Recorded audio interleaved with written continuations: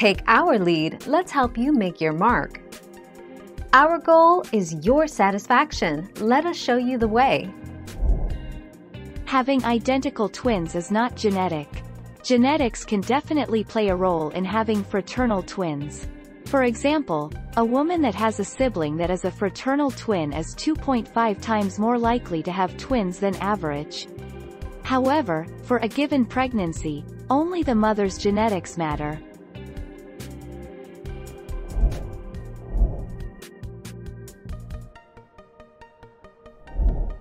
Take our lead.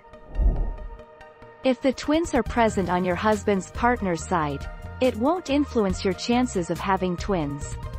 Remember, the gene for hyperovulation is only a factor for the mother.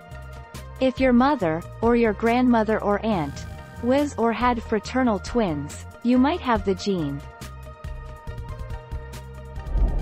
Thank you for watching. Please subscribe and hit the bell notification.